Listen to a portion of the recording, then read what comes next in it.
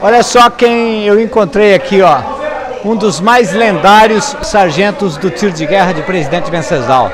Está aqui hoje na cidade, veio aqui para comemorar junto com os seus atiradores de 86. De 1986, nosso querido Sargento Elias. Elias, tudo bem? Você está morando onde? Estou morando em Campo Grande. Está morando em Campo Grande? E você tem assim, parece que um amor especial para o presidente Venceslau, que você já veio outras vezes aqui em festas como esta, né? Claro. Eu estive aqui em 86, quando a turma de. de estive aqui em 2006, quando a turma de 86 fez, eh, comemorou os 20 anos. Né? E depois eu estive aqui na comemoração do, do 70 é, aniversário do tiro de guerra. E agora? Agora hoje você está aqui em Venceslau, curtindo mais uma festa, mais uma presença, revendo mais amigos. Então, as redes sociais nos, nos proporcionaram isso. Né? Então o pessoal de, da turma de 80, 1986 montou um grupo de WhatsApp e conseguiu congregar o pessoal descobrir os endereços e tal, e, e marcaram essa festa aqui e nós estamos aqui comemorando é, 32 anos do, da turma de 1986. Agora, o Elias, quantos, quanto tempo você ficou em Presidente Venceslau? Fiquei sete anos. Sete anos, e esses sete anos são de boas lembranças? Ótimas lembranças. Eu, por mim, não teria saído de Presidente Venceslau. Mas a minha função no Exército me obrigou a sair daqui.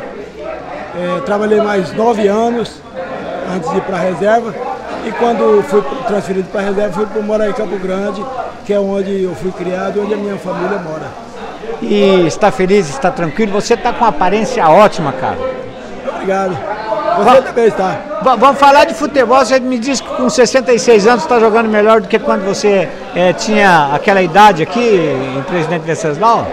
É, eu continuo jogando futebol. Eu sou sócio do Clube União, lá de, de Sargento, lá de Campo Grande. E estou inclusive disputando o campeonato agora, está em andamento. E continuo jogando minha bola é, três vezes por semana e fazendo meus exercícios.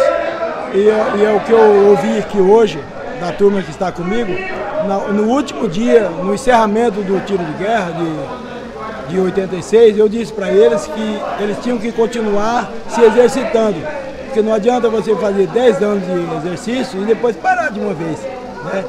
Então é isso que é isso que faz a diferença.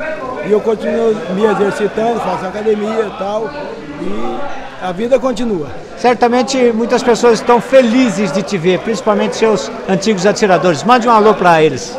Não, feliz sou eu. Né? Encontrei aqui hoje 30 atiradores da turma de 86, é, depois de 32 anos, como já disse, e eu estou feliz, estou agradeço por, pelo convite que me fizeram. Estou aqui e espero que isso não acabe aqui hoje, né? Porque presidente Venceslau, sempre que me chamarem, eu estarei aqui. Aí o nosso querido Sargento Elias. Elias, o seu nome inteiro é?